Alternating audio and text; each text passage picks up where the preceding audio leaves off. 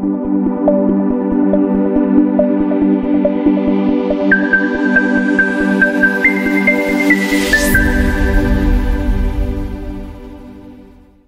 salut bine, v-am regăsit, bine ați revenit din nou pe canalul meu. Astăzi discut despre un parfum de la brandul Wolf Brothers, uh, brand cu care m-am mai, uh, de care m-am mai împiedicat. Uh, până acum am testat, dacă nu mă înșel, două parfumuri, Ursul, respectiv Mistrețul. Astăzi discut despre Lupul, Wolf. Aici l-am în variantă de șantion, respectiv uh, și fiola, din care mi-a mai rămas surprinzător destul de puțin. Uh, este un parfum uh, care își extrage anumite inspirații sau anumite filoane olfactive din parfumul Mistrețul. Nu pot să spun că împărtășește într-o proporție covârșitoare sau într-o proporție foarte mare elementele din Mistrețul, însă regăsesc un anumit tipar olfactiv pe care cele două parfumuri le împărtășesc. Este un parfum fain. Este un parfum care combină elemente de tip uh, ambrat balsamic lemnos și aici mă refer în special la tămâie și lemn de pin plus o notă de ambră. Un parfum care uh, îți poate da senzația că este mai degrabă centrat pe zona aceasta de tip tămâie, tămâie lemnoasă. Uh, însă cu siguranță în parfum se întâmplă mult mai multe pentru că regăsesc și o infuzie aromatică dinspre salvie, cu toate că în parfum se mai află listate și piele și vetiver, prună sau piper roșu, însă pentru mine jucătorii principali pot să consider că sunt uh, în special tămâia, pinul și partea de ambră care se regăsește în baza parfumului. Un parfum fain, un parfum care, cel puțin în această stare, miroase ca un soi de tămâie aromatică. Încercați să vă imaginați uh, o tămâie ușor verde și în același timp lemnoasă. Aici discut de pin, tămâie, ceva influențe de tip salvie, și cam în zona asta rămâne cel puțin la ceea ce simt acum și au trecut aproximativ 12 uh, ore de la momentul aplicării. Ceea ce surprinzător este că încă se mai simte, ceea ce înseamnă că și partea de performanță este bună la acest parfum. Haideți să aplic să rememorez un pic și deschiderea. Deschiderea este mult mai aș putea să o caracterizez din punct de vedere cromatic mai verde. Chiar dacă nu este un parfum de tip verde aromatic, acele de pin plus uh, potența dinspre nota de tămâie creează un impact de tip verde, cel puțin senzației mele. Da, este mai degrabă mult mai camfurat, mult mai coniferic în deschidere, ca urmare a notei de pin. Și așa cum am spus, nota de tămâie te poate induce în eroare, crezând că este un parfum eminamente balsamic. Nu este, cât mai degrabă este un parfum pe o notă lemnoasă și în același timp și ceva ușor fructat.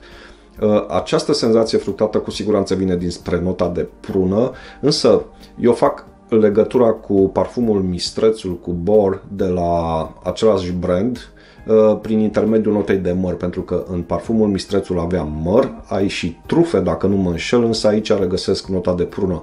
Însă combinația de tămâie, lemn de pin cu nota de prună creează niște senzații întâlnite și în parfumul de care v-am amintit în Mistrețul și consider că acest lucru este ca un uh, element comun, care s-ar putea ca să se regăsească și în alte parfumuri tot de la același brand. Ok, deci o deschidere lemnoasă, ușor verde, aromatică, camforat, mentolat, miroase foarte bine, miroase foarte plăcut, îl consider un parfum de vreme temperat și chiar ușor ridicată. Poate fi purtat cu siguranță și la temperaturi mai joase, însă uh, ținând cont că este un parfum unde nota de pin chiar se manifestă din plin, uh, ca să facă așa o rimă. Uh, pe temperaturi foarte scăzute, nu știu dacă ți-ar place să ai o senzație răcoritoare, pentru că nota de pin, acel de brad, coniferic, amforat, îți dă această senzație rece. Ok, Parfumul figurează în uh, unisex, era să spun masculin, este un unisex, însă cu siguranță că pentru bărbați acest parfum uh, sau bărbații vor rezona mult mai mult cu acest parfum. Uh, nu este nimic neobișnuit ca o doamnă sau o domnișoară să poarte genul acesta de combinații olfactive, însă Cine îl va testa va realiza că este mai degrabă un parfum care se duce în zona masculină. V-am spus și de perioadele optime când acest parfum, din punctul meu de vedere, consider că s-ar putea purta foarte bine. uh, ținută și ocazii, uh, casual elegant, semi-formal, formal, ocazii, zona profesională, zona extraprofesională, chiar situații sofisticate, elegante, pentru că miroase foarte, foarte bine. Uh, ideea este să te și împaci cu această senzație coniferică care vine dinspre nota de pin, ca de asemenea și dinspre notele balsamice, că discut de tămâie sau notele ambrate care sunt la modul generic. Uh, din punctul de vedere al concentrației, uh, vine apă de parfum, un singur volum 50 de ml, prețul pentru 50 de ml preț de raft nu este un preț foarte mare, undeva la 115 euro, ceea ce pentru pasionații parfumurilor cu rezonanță de tip zoologică și aici aminte și de brandul Zoologist, uh, prețurile pentru parfumul de la Wolf Brothers sunt chiar prețuri foarte, foarte competitive. Uh, și trebuie să spun că există calitate în parfumurile lor, există uh, unicitate și în același timp și inovație. Sunt parfumuri care nu le-am mai mirosit la alte branduri și dacă vrei să miroși ceva foarte bine făcut cu ingrediente de calitate, merită să te interesezi un pic de unde poți să comazi sau potențial să testezi parfumurile celor de la Wolf Brothers. Înapoi la parfumul lupul. Uh, nu vreau să fac niciun fel de conexiune cu animalul totem al dacilor, însă este un uh, parfum care chiar uh, te pune în mediul natural al acestui animal. Uh, un mediu forestier, un mediu destul de proaspăt, destul de rece ca senzație și în același timp și senzația aceasta fructată care vine dinspre prună te-ar putea introduce într-o zonă de uh, prag între sălbăticie și zona umană. Din punctul de vedere al vârstei, consider acest parfum un parfum pentru cei de la un 30 de ani în sus. Din punctul de vedere al performanței, al longevității, este un parfum care își face treaba. V-am spus chiar și la 12 ore încă îl sesizez la nivelul pielii.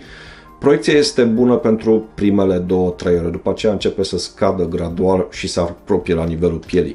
Cu siguranță că prin mișcare creezi acei curenți de aer parfumat care sunt sesizabili și de către ceilalți, astfel încât consider că Per total, parfumul se manifestă foarte armonios, foarte plăcut, este un miros destul de interesant, destul de intrigant, dar cu siguranță atrage atenția, deci nu este ceva foarte abstract sau foarte uh, ciudat în felul cum miroase, cât mai degrabă îți lansează niște adieri parfumate de tip uh, tămâie proaspătă, esențe lemnoase coniferice, cu ceva irizații fructate foarte, foarte plăcute.